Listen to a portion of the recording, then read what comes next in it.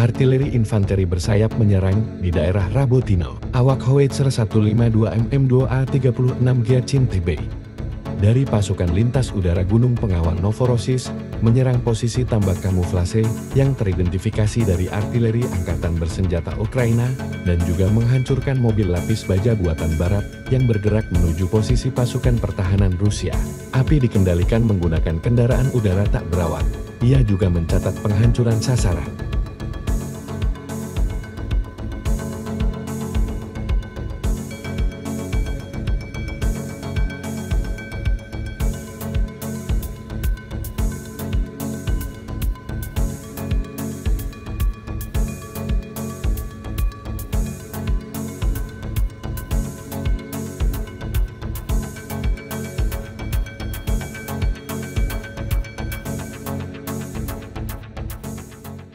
Download Tribun X sekarang.